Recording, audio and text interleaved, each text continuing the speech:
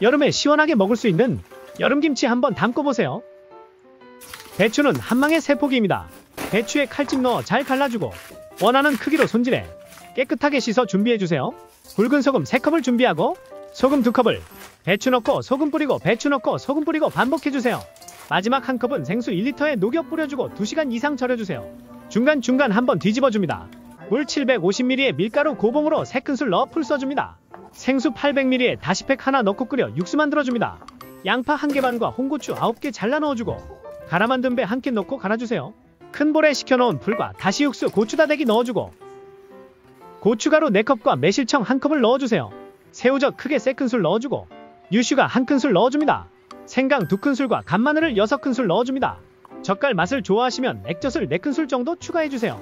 배추는 아주 짜지 않게 절였기 때문에 물에 헹구지 말고 체에 받쳐 물기만 빼주세요. 큰 볼에 절인 배추 넣어주고 쪽파도 넉넉히 넣어준 후 양념을 모두 넣고 잘 버무려주세요.